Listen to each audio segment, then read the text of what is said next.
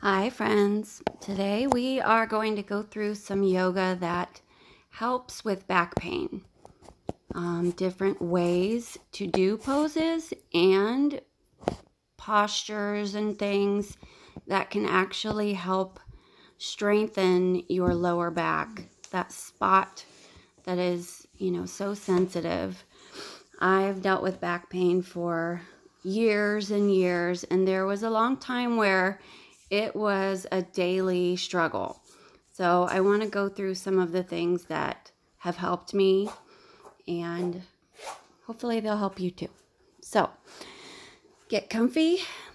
You're going to have a seat and then lay back with your knees bent. Hi. now make sure your entire back is on the mat. Okay, so kind of lift up and that's that curve of the back there. Make sure your whole back is on the mat, okay? Inhale. Exhale and bring that left leg up. We're pointing the toe, flexing the foot, and then bring the knee in close to the body. Back out, in, okay? And then down and up with the leg straight, okay? Other leg pointing the toe, bring the knee down. Okay, and down and back in. Okay, so we're working out that lower back. If that starts to hurt at all, then you don't go down as far, okay? Hug your knees in tight to the body and pull the chin close to the knees. You can even rock back and forth here to sort of massage your spine if you want extending the legs. Great for circulation. Point the toes. And then the right leg down, the left leg down. Bend the knees. And then we're going to hug the right knee in tight. And when we do that, we're protecting the lower back. Holding that leg in keeps your back really plugged into the floor. So the left leg extends, hovers above the floor. Bring them both in. And then switch. Hold the left knee tight and then extend the right leg a few inches above the ground. So we're working out the abdomen this way, and that is helping your back. Grab the outsides of the feet and you're holding the hips open and happy baby. Opening your hips. Your hips being tight can, you know, cause some lower back pain. Everything's connected. And try to keep your breathing nice and even. And then the feet come together and go to the floor. Now, when you tilt your back this way to put your legs down, your lower back will come up off of the mat. And then straighten your legs out, the right leg in and over. The arms can stretch out, palms are on the floor, and you gaze over your right shoulder. Try to keep your arms on the floor as much as possible. Back onto your back. And bring both knees up, switching legs. Left knee up and over, gazing over the left shoulder. Palms are on the floor for this. And then bring the knees in and rock to a seat. And cobbler pose or butterfly, the kids would call it. Press the feet together, opening the hips. Nice straight spine here. Go as deep as you want to.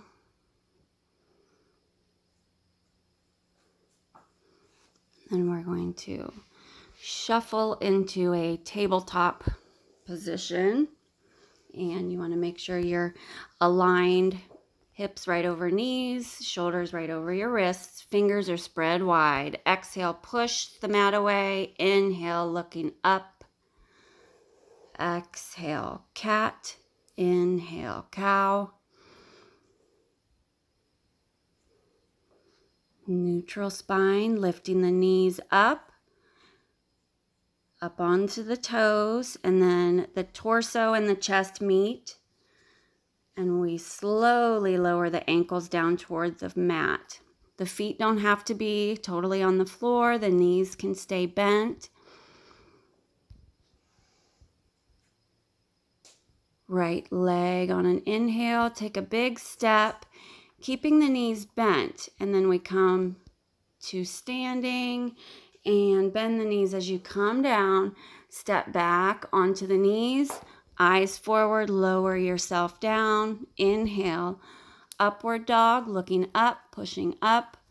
Exhale, child's pose. Then push with the feet into a nice easy down dog. One big step, knees are bent, and you gently scoop the arms up Exhale, bend the knees, coming down, down to the knees, child's pose. Lower yourself down. I'm sorry. Upward dog, not child's pose. Up on an inhale. Exhale, child's pose. And to the toes. Other foot, big step. Knees are staying bent. Inhale, scooping up Exhale down, bend the knees and step back to the knees, lowering down. Inhale and let your forearms come to the mat. The toes are, the feet are pointed and scoop everything up on an inhale. So you're moving everything off of the mat except for, you know, the middle of your body there. Inhale up. Nice soft lower back. Think soft lower back when you come up. And the palms face the floor. Soft lower back, soft neck. The arms come forward like a superhero, like you're like you're flying through the air. Okay, and coming down, the forearms come to the mat for Sphinx. The top of the head is reaching up, lower back is nice and soft, no tension. No tension in the neck. The top of the head reaches up, and we lift the right leg up and pulse. Other leg, working the back of the legs, the glutes, the lower back right leg, left leg. Coming down, the palms are on the floor. Inhale up.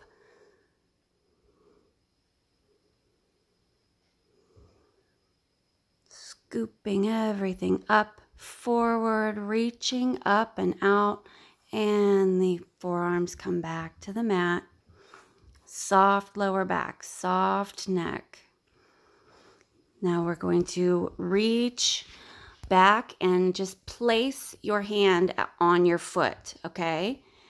And see if you can lift the foot up, the leg up. The arm is just along for the ride. We're not pulling, splaying out to the side like this. The foot is going to come up over the top of the head. Okay, if you can't lift it, just reach back there and leave your hand there. That's the practice. That's the beginning. It's okay if you can't lift it yet. Other side, place the hand and then using the leg muscles, you're lifting your leg and your foot up. And down. Inhale, curling the toes up, both arms back. Just kind of place the hands there. Not pulling, stretching the quads. The legs are only about hip width apart here. Okay, and then we come up and down. Forearms to mat.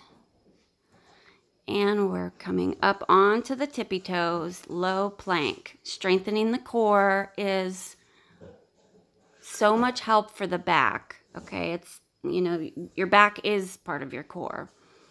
Now we don't want the bum up. We want everything in a nice straight line, more like this, okay? Knees come down.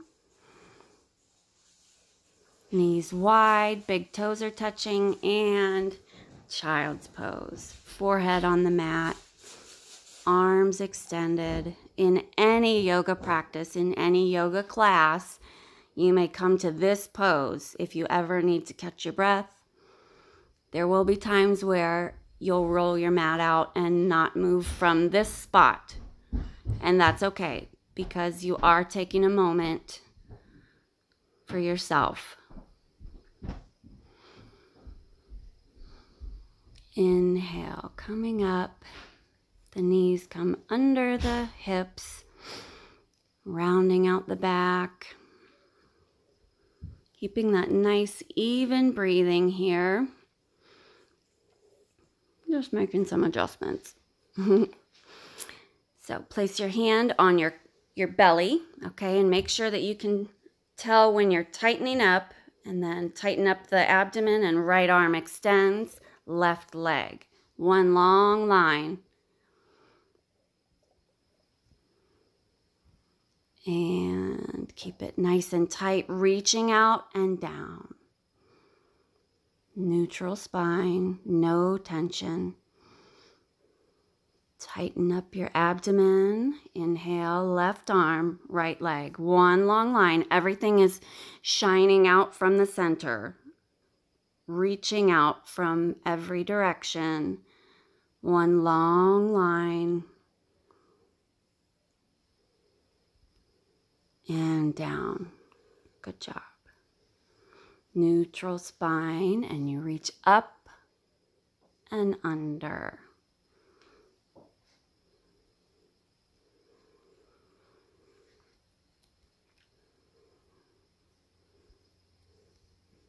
Inhale, the right arm comes up, the left leg. Tighten it all up, shoot it out, and then down. Activate your abdomen left arm, right leg, one long line, tighten it all up, shoot it all out, and then come down.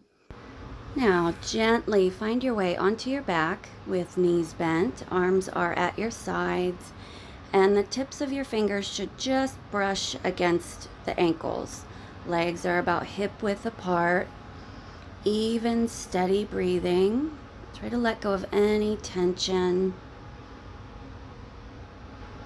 Inhale, exhale. On an inhale, you will lift the hips up toward the ceiling. Unclench your glutes and let your legs do the work here. Try to let go of any tension in the neck area. Your legs are doing the work. And coming down nice and gently. And then Inhale, and you'll lift the hips up. See if you can tuck the chin into the chest. Lace the fingers together and use the arms as a lever underneath the body. Unclenching the backs of the legs, letting the arms come back down, and then extending the left leg. Trying to keep one long line. If this causes any pain, then just go back to the regular bridge pose, okay? And then we're doing the other side. This is something to work up to if you're not here yet. That's okay. And we're coming back down.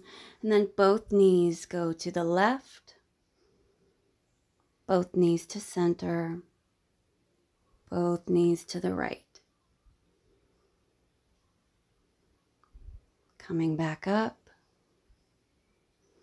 even breathing, making sure the back is connected to the floor, holding the knees in tight.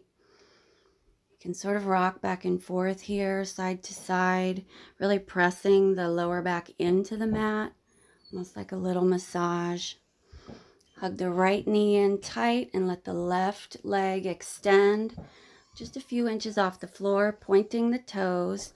And then take your hand to your side here and feel how much work your abdomen is doing. You can draw circles with the, the toe. You can just pulse the leg up and down or hold it still. But keeping that hand on your side, you can really feel the abdomen doing all that work. And then bringing the left knee in close Remember, hugging the, the knee close to the body keeps the back in contact with the floor. And then extending the right leg. Point those toes. You can just hover right above the floor, or you can draw circles or pulse the leg up and down. And then take the right hands, hand, fingers to the side and feel your abdomen working. Doing both legs at once this way can be super intense, but one at a time is really, you know, just as much benefit. Extending both legs up, great for the circulation. You can do this with your legs against the wall as well. And then bring your right foot down right in front of the knee and then clasping the hands together, pulling everything a little closer, opening the hip, stretching. If this is too intense, then just don't lace the fingers together underneath that left leg. Nice, even, steady breathing. Gently, we unwind back to extended legs. And then the left leg comes across. It's like a number four we're making with the legs clasping the fingers, bringing it all a little closer. One side is always a little more tight than the other.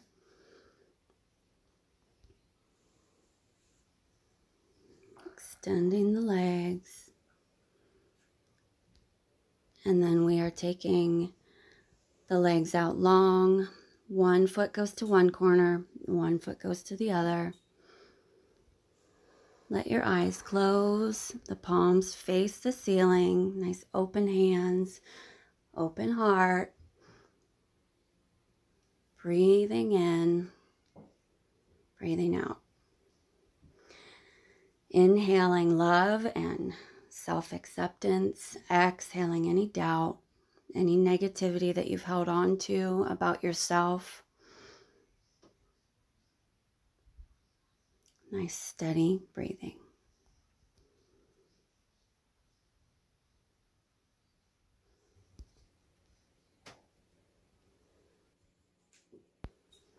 When you are ready, you may roll over onto your side and push yourself up. This is sort of a trick. I'd like you to watch this. The way we usually sit up, parents getting up out of bed, we reach and wrench everything from the neck to the hips, pulling up, okay? So this way takes a little bit of getting used to, but it's a lot gentler on your back. Roll to the side and push yourself up without, you know, um, tightening up anywhere. So have a seat work out any kinks. And we'll just take one moment here. Healing your back might be a, a process that goes on for a long time, and it might be something that, you know, happens quickly for you. Either way, let's not rush. Just kind of breathe in. Take the arms all the way up, reach high. Exhale and bring your thumbs to your forehead. Namaste. Have a good one, guys.